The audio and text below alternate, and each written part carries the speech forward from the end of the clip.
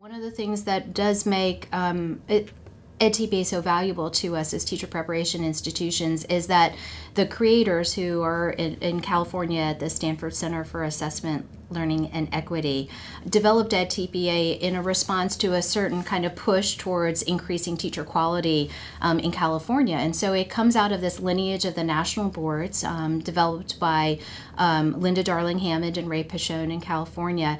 And it comes with a lot of supports for us. So not only do we know that it was done by the profession, for the profession. We know that there are supports wrapped around it so that we can help to support candidates, support our cooperating teachers in the field who are working with our candidates, but they also include training for us to use locally here so our faculty are not creating their own thing. We're a part of a larger community around performance assessment across the nation.